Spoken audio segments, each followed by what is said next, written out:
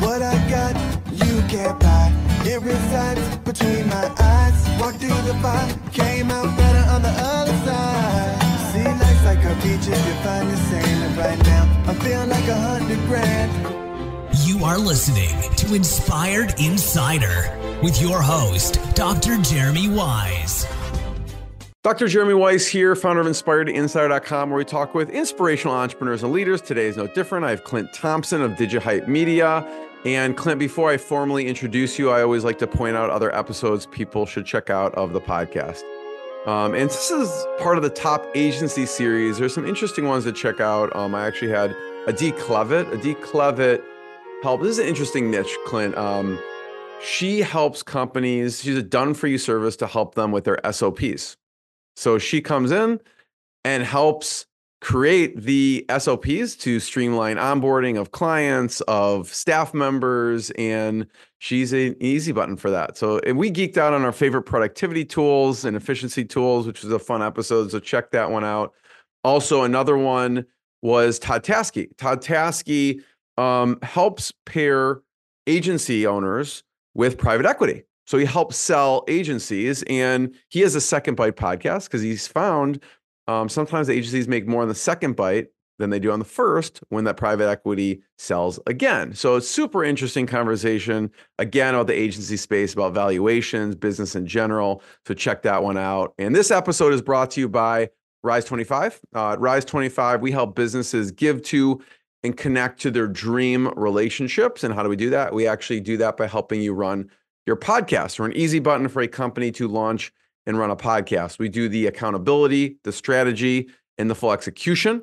You know, Clint, we call ourselves the magic elves that work in the background to make it look easy for the host so they could just create amazing content, create amazing relationships, and most importantly, run their business. Uh, so, the number one thing in my life is relationships. I'm always looking at ways to give to my best relationships. And I found no better way over the past decade to profile the people and companies I most admire and share with the world what they're working on. So if you've thought about podcasting, you should. If you have questions, you can go to rise25.com to learn more. And I'm excited to introduce Clint Thompson. He's founder of DigiHype Media, and they help companies with websites, design, branding, digital paid advertising, programmatic, um, and much more. And They've been around for maybe by the time you're listening to this, over a decade. Um, so he's going to share his depth and breadth of experience. And uh, I'm excited to introduce Clint. So, Clint, thanks for joining me. Thank you very much, uh, Jeremy. I, am really excited to be here, and uh, this is a thrill. Thank you.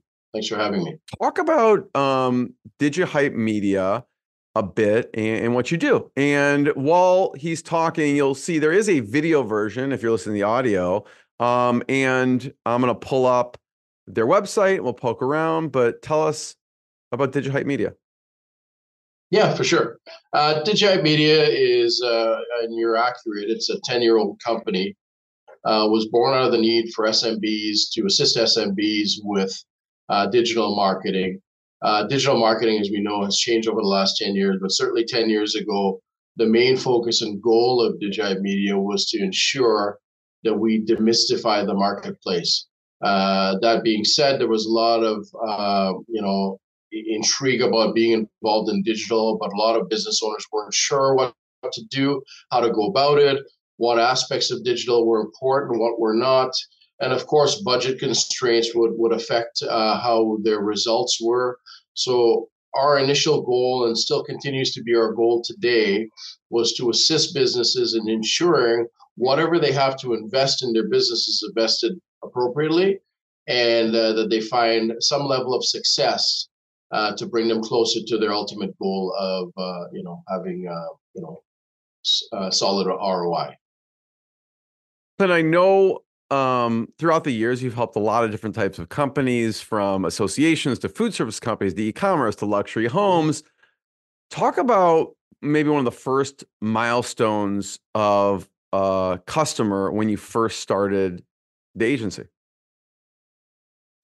Yeah, um, I think one of the one of the major milestones that we hit was uh, about four and a half, five years ago we had a client and we'd always considered ourselves uh, a business that's a small business trying to help small businesses and, and other businesses. Uh, but we had uh, we had uh, quite a great brand and quite a great name out in the industry, especially uh, more specifically in the GTA, the Greater Toronto Area and surrounding area. Uh, but we had a factoring company approach us to talk to us about delivering, you know, their brand name in the GTA. more specifically, uh, bringing them uh, better profitability and better reach and frequency in the GTA than they had currently been having. And the reality was is that we embraced this. This was a real opportunity for us. Uh, you know, factoring companies typically are mid to large companies. Uh, this particular one had been around for many, many years, has branched out all the way across Canada. Uh, and we've been, you know, since then, we've been very, very excited working with them. And it's given us an opportunity to see how easily we can scale as a company and how easily a lot of the things that we use, a lot of the tools that we use for smaller and mid-sized businesses can also affect and assist large businesses to achieve their goals. So that's that was a big uh, uh, a great moment for us. What were some of the things you did, and just explain for a second for people who aren't familiar with what uh, a factoring company does? Sure. Uh, a factoring company essentially assists uh, other businesses uh, that are having challenges collecting uh, on their uh, accounts receivable. And uh, their job is to, they can take on your accounts receivable and they can assist you with collecting on your accounts receivable in a timely manner and making you, of course, be able to, you know, be more profitable and to be more timely on your bill payments and your growth and stuff like that. So, so Thanks for that. It's really it's valuable service, I'm sure, for businesses. What um what did, were some of the things you did for them? And I imagine like sometimes with client engagements, maybe they come to you with one thing and then things expand. Maybe they're like, oh, we need something with our website, or we need something with branding. We, so where did it start with them and then what happened from there? So you hit the nail on the head, Jeremy. So when it when we first sat down and chatted with them, it was about getting more traction for their brand in the greater Toronto area. That was a bit of a challenge, especially with a national company. Uh, typically, national companies, national advertisers will get the branding for the entire brand, but to be very specific and very, you know, geocentric, it's very difficult for them to do. And of course, it's it's it can be uh, uh, very costly. So their big goal was to have their name uh, be identified in the greater Toronto area and surrounding area in Ontario. And uh, so our first, you know, initial meetings were all about, okay, what's this all about? Same questions you asked, what is factoring? Well, uh, we had no idea. We deal with a lot of different verticals, but certainly that one we'd never dealt with. Uh, but again, some of the same basic ground rules work for many, many different types of business verticals. And we are able to determine what they needed. So it started off with a website. It started off with having their own uh, sort of foundation in the Ontario marketplace. We weren't able to do certain aspects of the advertising. We talked about social media. We talked about optimization. We talked about things like uh, doing AdWords services to assist and affect them from a content perspective on the big search engines, the big three Google, Yahoo, and Bing. And we were able to come up with a marketing program that's been effective for them to help them grow their brand in this marketplace. At what point do you decide I'm going to start my own agency? Wow, yeah. Well, this this was uh, I've been in the industry for a long time, uh, for about 20 years at that particular point in time, uh, about 10 years ago, and I kind of sat down. I, I, I was the recipient of the golden uh, golden handshake uh, because you know the company that I was with was a, a huge uh, company in, in Canada, a huge Canadian company that was changing gears and they were sort of restructuring. And, you know, it was timely for me because I felt that, as I mentioned at the beginning of the podcast, my goal has always been I, I want to make sure that clients I deal with, large or small, it's irrelevant. I want to make sure that they understand what they're getting involved in. And my biggest, the biggest piece to the job that I do is to educate my clients on the realities of advertising. I don't want to mystify them. I, I'm not a magician. It's not about making, you know, pulling a rabbit out of a hat. the reality is I want to make sure they understand that, you know, you do A, you might get B. If you do A, B, C, D, you're going to get an awful lot more, right? So I want to make sure the clients uh, get that. And I was given that opportunity when I left my last employee. And uh, I sat down one day with my wife, uh, my lovely wife of 35 years now. Uh, I sat with her and I said, Listen, I said, uh, I'm going to start a new agency. And she said, What? I said, I'm going to start a new agency. I said, I already got a small spot, uh, a location. I already uh, leased it. Were you going to mention this to me at all? And I kind of laughed. I said, Yeah, I'm mentioning it to you now. I, I have a lease. So it, the the irony was is that the the first client that ever called us, it was just myself, and I got a call at uh, would have been about five thirty on a on a weekday, like on a Thursday, and this gal called me from uh, a pharmaceutical training company. And uh, she says, listen, you know, we've been dealing with a large uh, advertising firm for many, many years. We want to change gears. We're not getting the results we want we feel more of a boutique sort of a store would be more beneficial. People we can sit down and talk to. We want to be able to know who we're dealing with. I said, sure, come on in. So the uh, uh, the day they came in, the evening they came in, said they couldn't be there till about seven o'clock. Now again, I'm the only guy there. I just hired a web developer who hasn't even started yet. I have nobody in my office, and the controller, uh, very nice lady, came in with their VP again, very nice lady. They walked in, and I'm so old school. I'm sitting there going, geez, this is going to be a little awkward having two women in my office at eight o'clock at night. So I, I called my wife up and I said, listen, I have these two gals coming in. Can you do me a favor? Just bring a laptop, come and sit in the corner, play on Google. I don't care what you do, you know, chat all night, but I need to have at least a, a, another person there. It's not for anything other than to make them feel comfortable, right? and uh, and she did. So we had this great discussion. We talked about a lot of things, and they came on board as clients, and they were with us for about nine years. Wow. The funny thing was, after the meeting, the controller got up and she said to me, "She goes, Clint, honestly, that's your wife over there, isn't it?" And I looked at her and I laughed. She goes, There's nobody working till nine o'clock at night. Okay. That's got to be your wife supporting you over there. She goes, You know what? I feel good about this. And they came on board and they were a great client for a long, long, long time. Did a lot of great things, went from an Ontario based company to right across Canada, had great success, and they continue today. So, you know, that's uh, that's kind of how it started. And uh, and we're here 10 years later. What made you decide to start your own as opposed to you had a you know storied career for decades at that point? You could have, you know, gone in another company and been very successful why start your own at that point? Uh, for for a couple of reasons. One is the big challenge in the industry, as I mentioned before, was that many of the clients I dealt with as a senior manager or a senior director with a number of the companies I worked for, the big challenge was having a human being that they can relate to, that they can call, that they can talk to, someone they can email and have a response from within a timely period of, uh, of time.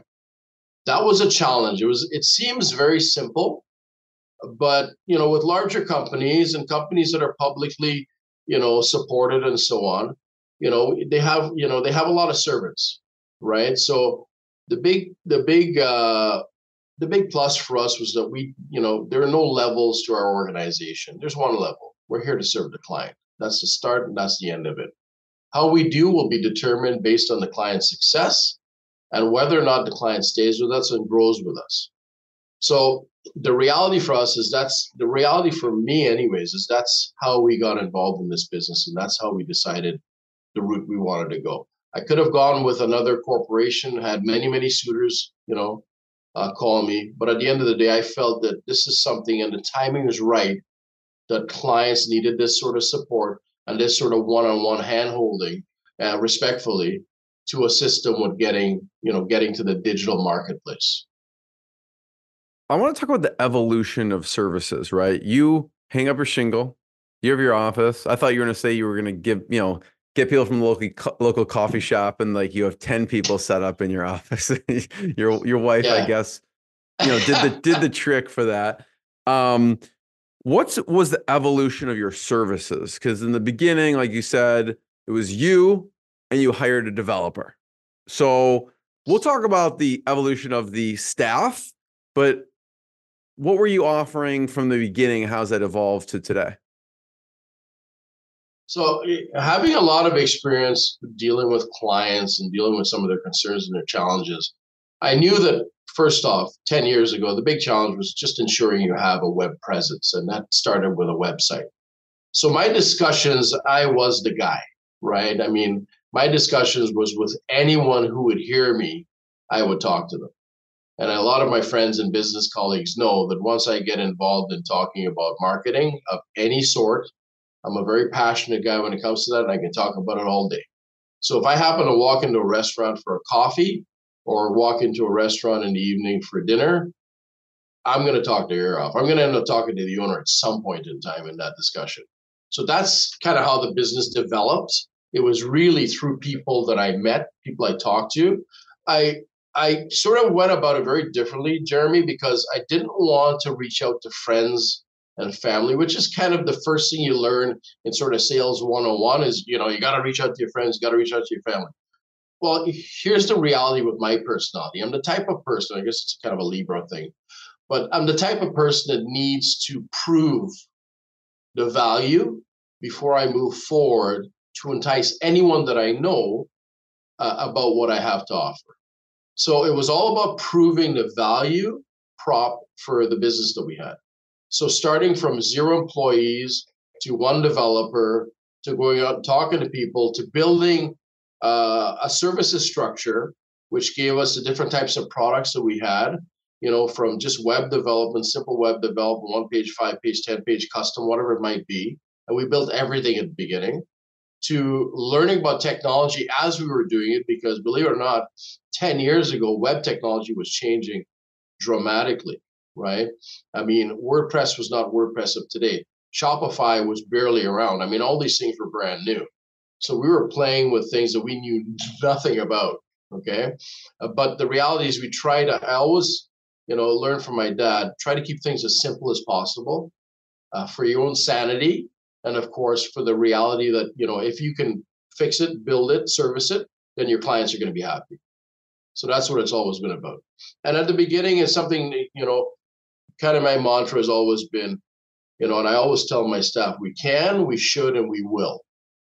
You know, I'm a very determined individual, but with that determination comes a lot of responsibility because, again, coming back to friends and family, I want to ensure that if anyone ever refers, and many have referred people to, to our business, that we take care of them like family. And that's how we deal with every single customer. So it started as websites.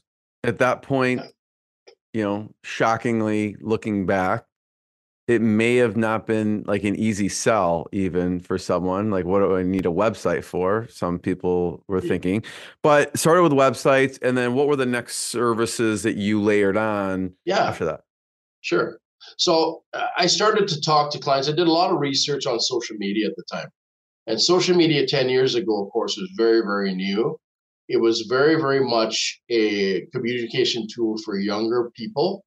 It was not necessarily proven at that point as being a business tool or a networking tool at, at uh, of any type.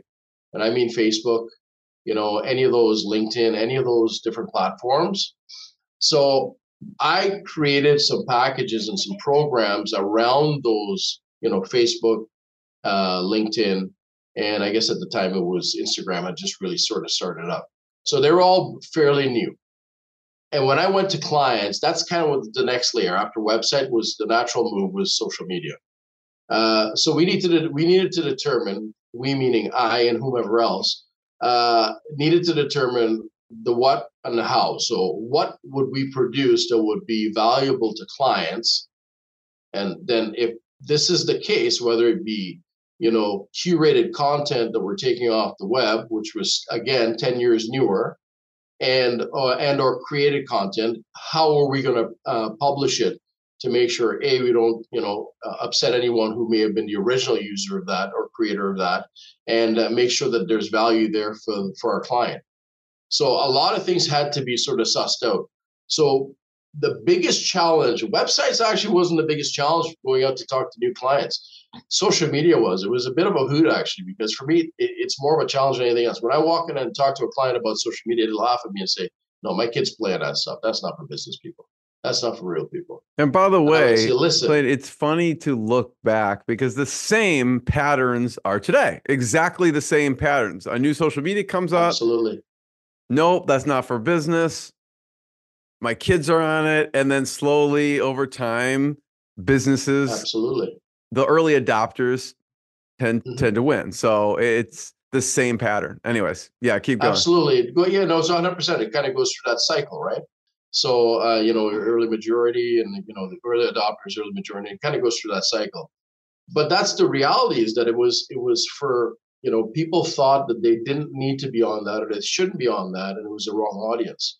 The reality is the early adopters who did enough research to find out that you know what, you know maybe I'm a you know I'm a physiotherapist and my business you know deals with a lot of athletes a lot of these athletes are young and younger now you know, they're in their 20s and late teens. These are the people I want to get involved in my business.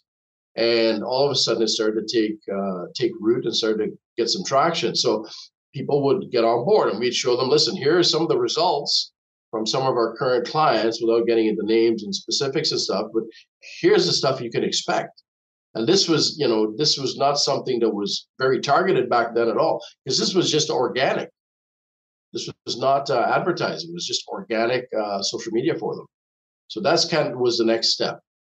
Uh, beyond that, then we started to grow into things. Once we had, you know, new personnel, and we were able to grow into, you know, and, and educate ourselves as well into how to do things properly and to sort of learn from the best and to sort of take and say, okay, we can use this. No, we're not going to use that. That doesn't work well.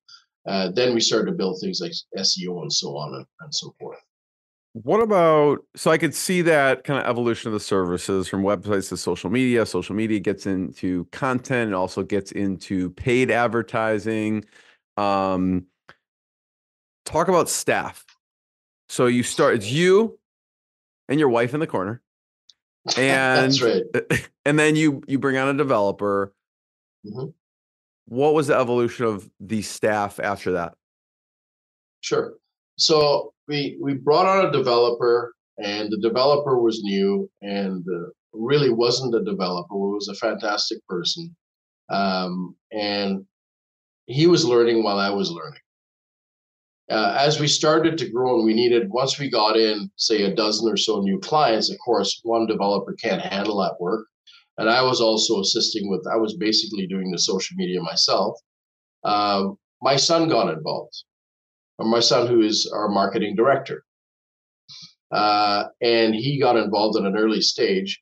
And I guess the big win for me was that he was very technically inclined and he's just a voracious reader, loves, can't get enough information, and really, really dug his heels in and started to help us build out a platform that could work, that we could scale to work for our businesses that come in and come on board. So whether it be a platform for web development, creating sort of blocks of documents that could be used, uh, or using uh, certain uh, different types of uh, framings for different frameworks or different types of verticals of business, or whether it be using, utilizing, uh, creating social media content that can be used contextually in different areas, different verticals uh, he sort of started building all that information. He was very, very instrumental in helping us grow.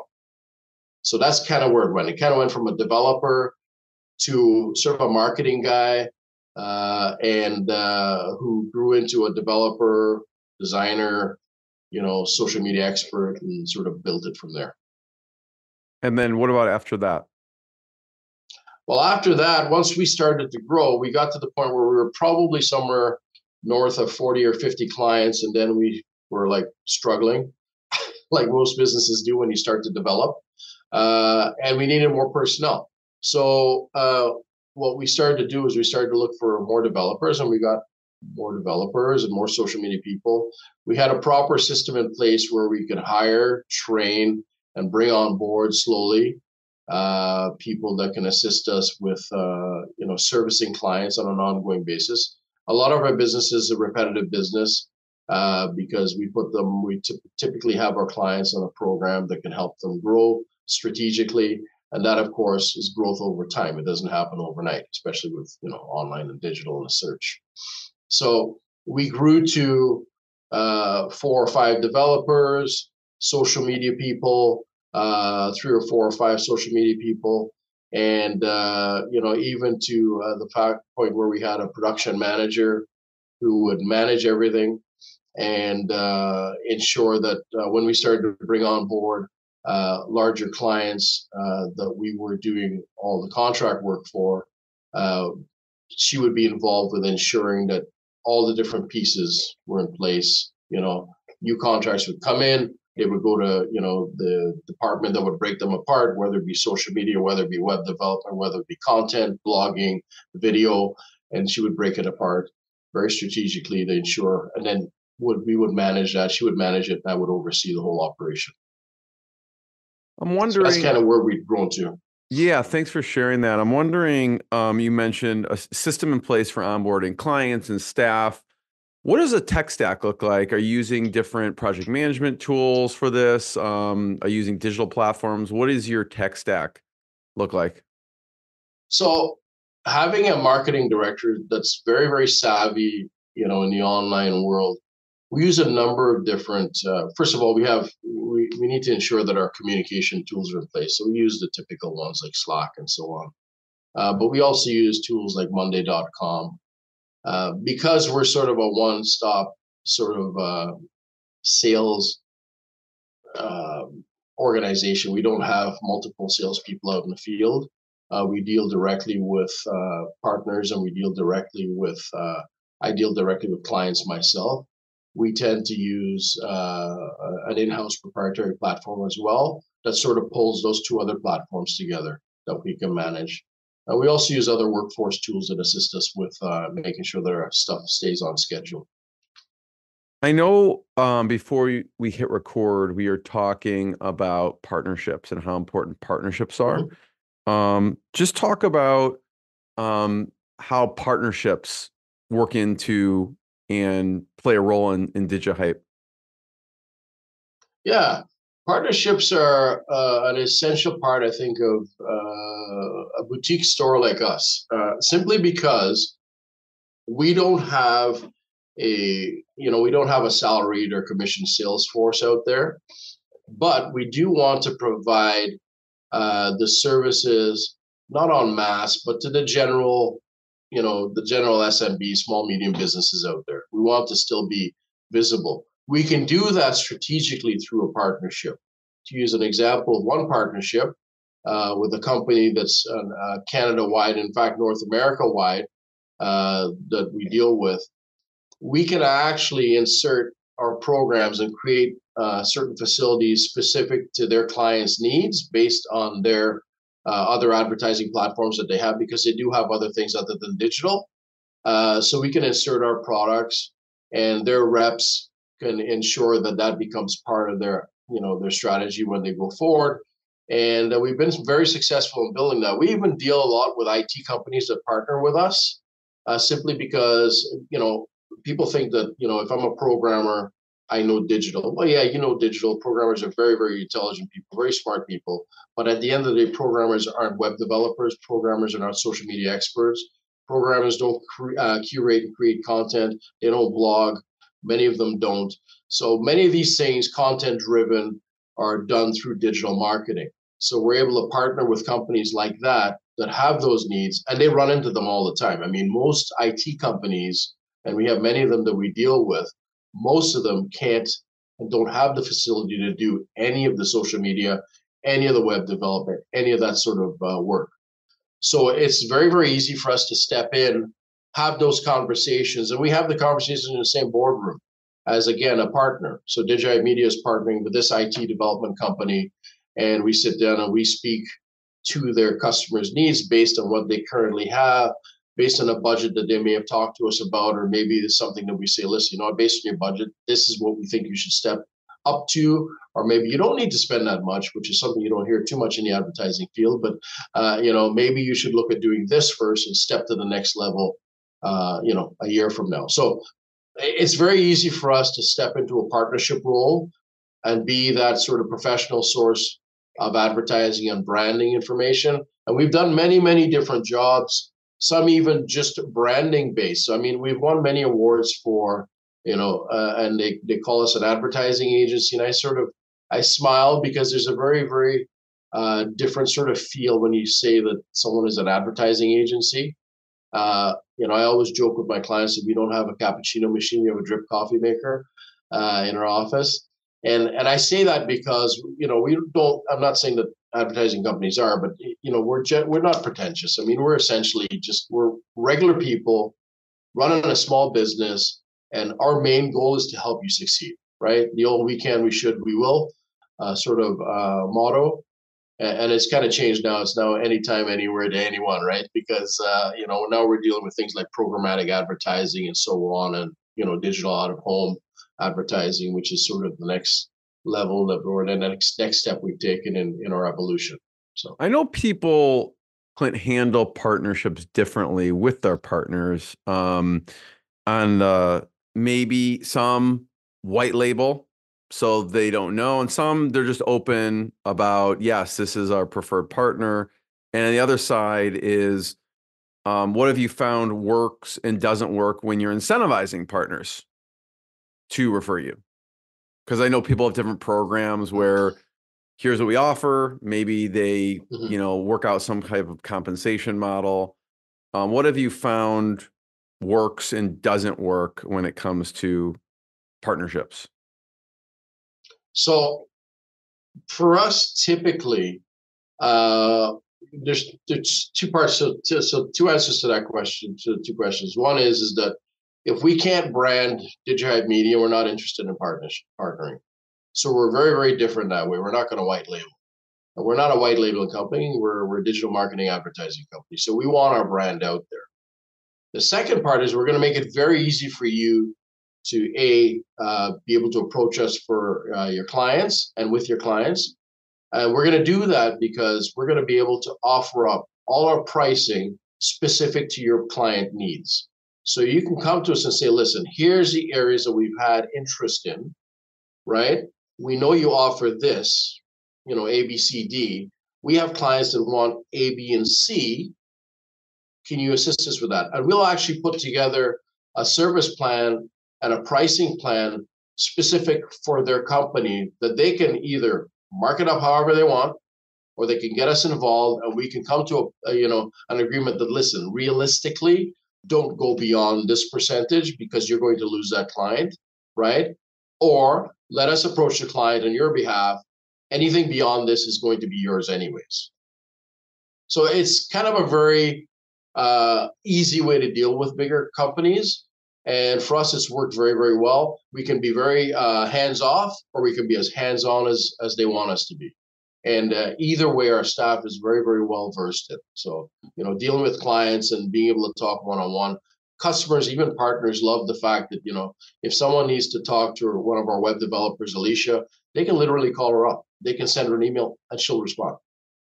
She knows the protocol. We've been doing it for years and it's very easy for clients and they feel good you know they may not even have had that experience dealing with their current company but we make them feel comfortable but this is the right thing to do and we are assisting your company to sort of get you to the end result so partnerships tend to work very well for us if we sort of set them up that way from a pricing perspective it sounds like they could pass along that discount to their client or they may mark it up because they may do extra services or something alongside with what you're doing. Yeah, and they have the yeah, we give them that flexibility, right? So, you know, we we tend to suggest a certain amount of a markup if they want to. Don't go beyond this. From our experience, you're not going to get the results or the, the, the response you want from your client, which is to go ahead. Uh, so don't uh, you know don't go uh, you know too far beyond these numbers, but uh, most of them will sort of stick to that number and they'll they'll get the results that they want and they'll get the client on board for that digital piece. And if they need help with it beyond that, again, we'll jump in, we'll sit in on the board meeting and say, listen, folks, here's the reason why, here's the value, here's the end result you can expect. This is why you need to do this. I want to talk about sales. Clint, you have a, if you look at your track record, okay, mm-hmm. you have a lot of experience in sales, as sales manager, director of sales throughout your career. So I'd love to know some lessons. And it's funny because if I just looked at your background, I'd be like, I guarantee you they have a like a, just a rock star, huge sales team because you have a lot of experience doing that. But it's actually the opposite. You have more partnerships. So it's interesting, but I but I'm sure you still employ those same concepts with you and your team when you're talking to clients. So I'd love to hear just some of the lessons uh, in sales that you've had um, over the past, you know, 20, 30 years. Yeah. Uh, yeah, and, and I uh, we are different and unique in the, in the fact that we tend to work with partners as opposed to direct. Uh, we still do a lot of networking through the chambers and different things like that. That's kind of part of our business uh, uh, plan or program. But the reality is, we we always and and I as a business owner tend to try to train and ensure our people are trained somewhat in selling, and that's kind of an internal thing, right? You know, I can sit there with a web developer and say, "Here's a six-step selling process. It's going to go in one ear and come out the other." It means nothing to them. But at the end of the day, I want them to understand that the money that comes in the door feeds all of us this is the growth that you will expect when you ask me for a raise or when you want the company to buy this or more equipment or better equipment or new equipment, whatever it might be. These are the things that keep us growing, right? Uh, as far as uh, as far as us being able to sorry I, I, missed the last part of the second part of your question no just the, like any lessons of sales that you've had because yeah. like You've led okay. big sales teams. I mean, you worked uh, the Yellow Pages, Call Genie, and and, mm-hmm. and more. So I just want to hear lessons you picked up along the way in in sales. So I, as a salesperson, I guess you know having a certain sales protocol when you go in to see a client, I've always maintained sort of in the back of my mind when I deal with a customer. But I generally you know, and this comes with experience and it's not for everyone, but I generally tend to sell, but I don't sell, I educate, right? The realities are that, you know, the digital marketplace and the advertising marketplace is consumed with information. There's so much information out there. It's very confusing uh, for most business people to sort of go in there and figure out what's right, what's wrong, what they should stay away from, what they should, you know, stick to. So for me, it's all about education. And I, in a lot of, I'd say 99.9% of the time, when I sit with a client, I have to be properly prepared, and I'm always properly prepared uh, with the information I need to know about them. I need to know about what they do. I need to understand and, and equip myself with what their competition does. All that sales strategy stuff is always in the back of my mind right? Introduction, you know, do all your prospecting, do your rapport building, all that stuff when I walk in. You know, I walk into a client's office and he's got, you know, uh, trophies all over the place and they're all about, you know, with cars and stuff. And first thing I'm going to ask him is, wow, you race cars? You know, so the sales process never leaves me.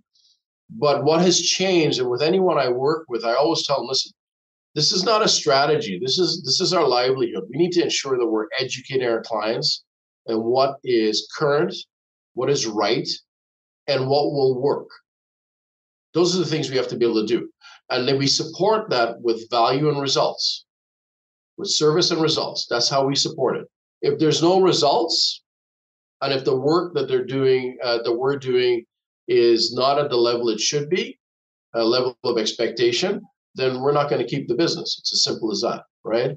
But those are the things, that's what I typically use as an in and as a sort of a continuance to be able to work with clients long term is simply by educating and keeping them up to date and abreast of what's going on in the marketplace and where we should change gears as well. There are a lot of clients out there that have been with us for a long time that honestly you know, they'll sit back. They're happy to just keep spending what they're spending because they're seeing results. But you know, from time to time, I'll call up and say, "Listen, you know what, John, I haven't heard from you in five months. You know, I know you're reading our reports. I see you open them, but at the end of the day, we need to talk because there's a couple of things that you may want to look at uh, investing in. you know, digital out of home, programmatic advertising. These are all new things. I know you're expanding to Ottawa. You know, let's talk about that. What do you need there? So these conversations have to go on, uh, and these are all part of sort of what I do uh, with current clients. Is there enough hours in the day? Generally not. But you know, COVID, but with you know, COVID has changed the landscape, as you know, uh, dramatically. So you know, people being virtual has actually helped in that regard to be able to talk to them. So, Clinton, you know, there's a difference between.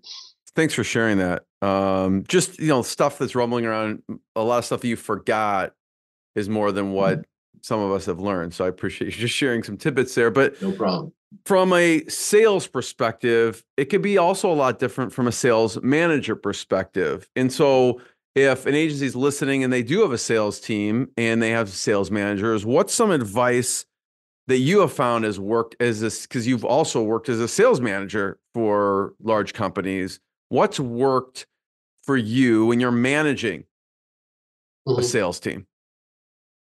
So if if I'm working with an organization that has their own internal sales team, the first thing I need to do is ensure that they're again educated on the service that we're providing. It's not about having it as an add on. Many organizations give information to their salespeople and they send them out into the streets. This is worth $500 a month. This is worth $10,000. This is worth, you know, five, 200 bucks. It's not about that. It's about finding out where the needs are. So a bit of it, a lot of it actually is training in the in the in the forefront before they even hit the streets with the, with the information. So we don't release any pricing. If we're partnering with someone, we ensure that the company does not release any pricing information at all to the salespeople until they're properly trained. And I'll do the training myself, along with typically Bradley or maybe a web developer. One of our web developers will, will also get involved in the training. And it'll generally be about four to five days long, the training, uh, where we'll sit down and sort of do a Zoom meeting like this, and we'll talk about, you know, how you approach a client with this, how this becomes part of the portfolio that you're presenting, why it's part of the portfolio you're presenting, and how it's going to make a difference to your clients' results at the end of the day. It's not about taking away from their spend, it's about enhancing their spend. So that's a big part of what we do is the training aspect of it uh, before they go out. And then once they're trained in that aspect of it, then we can, you know, shoot them all the prices and then they can sort of go away and determine how they approach their current client base and any new clients that they may have coming in the door. So so I guess I take my statement back. You, you actually are a sales manager because you you just have a fleet of people that are not staffed by you. It's partners. And your your sales management um experience goes into your partnerships who are doing the selling for you. Really? Yeah. So it, it has to extend. Yeah, absolutely. So for me, it's all about ensuring everyone is on the same page and presenting the same message. So yes, it is very much uh, sharing that information and ensuring that everybody's presenting the same stuff. So yeah, always managing. You know, um, I have one last question, Clint. Uh, before I ask it, I want to point people to check out DigiHype Media, D I G I H Y P E Media dot, dot C A. Um, to learn more. Uh, my last question is just resources. Some of your favorite resources. Um, it could be books.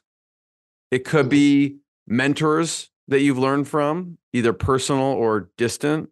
What are some of your favorite resources that you've gone to in business and marketing? Because I know that's a topic you really geek out on. Yeah, uh, well, there's two. I mean, business is uh, clearly a big part of it.